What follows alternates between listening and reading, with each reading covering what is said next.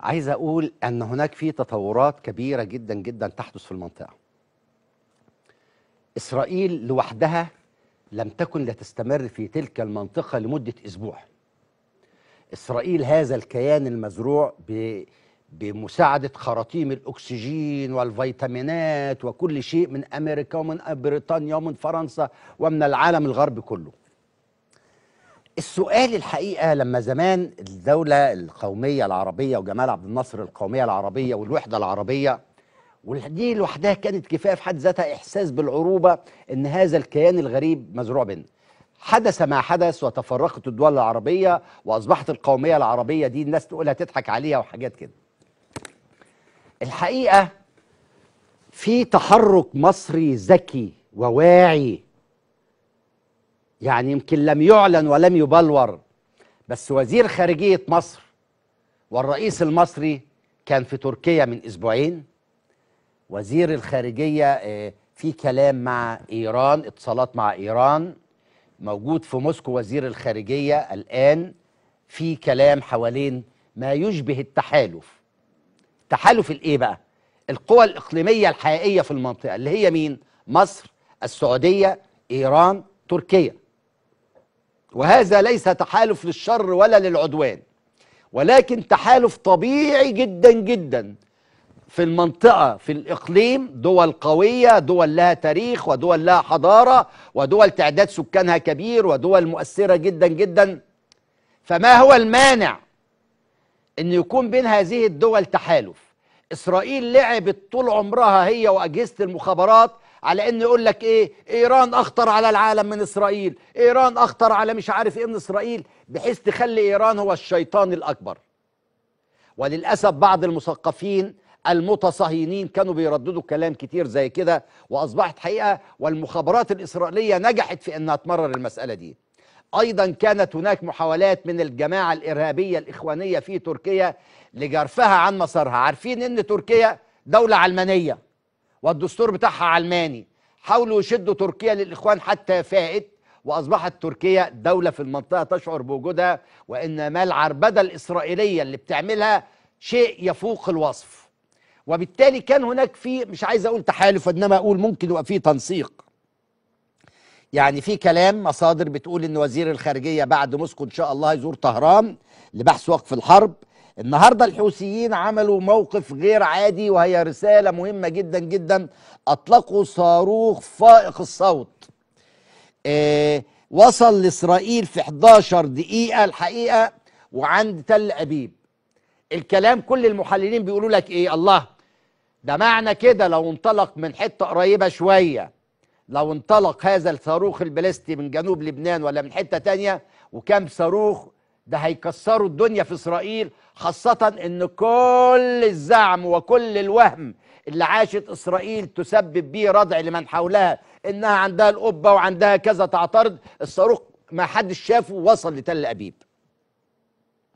وبالتالي ال- إن تلك التقنية التي قام بها الحوثي تجاوزت كل الوهم اللي إسرائيل قاعدة تبيعه في المنطقة.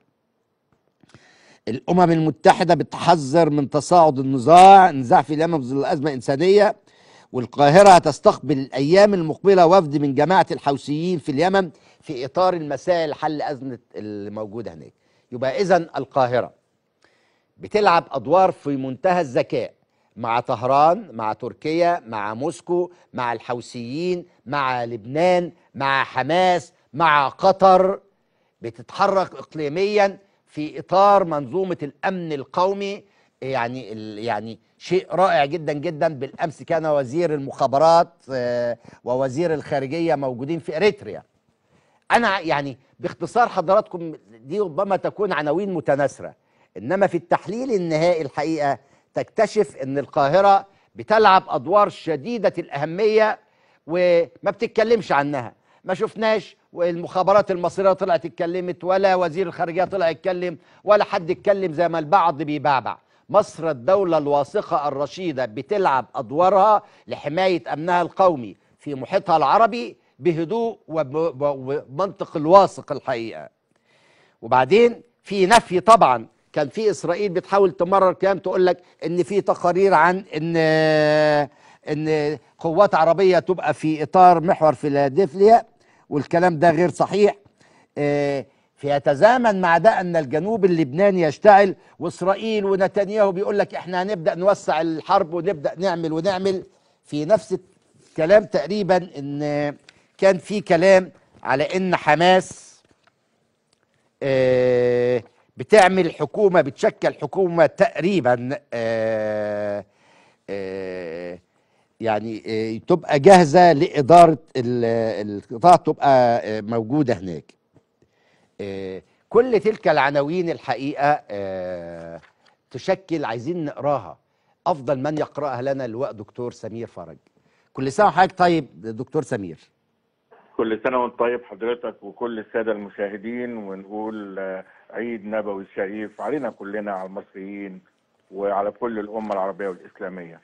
طيب. ال- بعد التقديمة اللي سيادتك قدمتها الجميلة دي طبعا ودور مصر العظيم اللي ما حدش هينساه لأن إحنا العصب الرئيسي في المنطقة. النهاردة أستاذ الحوثيين آه، عملوا ضربة قوية مزلزلة لإسرائيل. للمرة الثالثة. آه، الحوثيين يضربوا صاروخ آه، بركان اسمه بركان.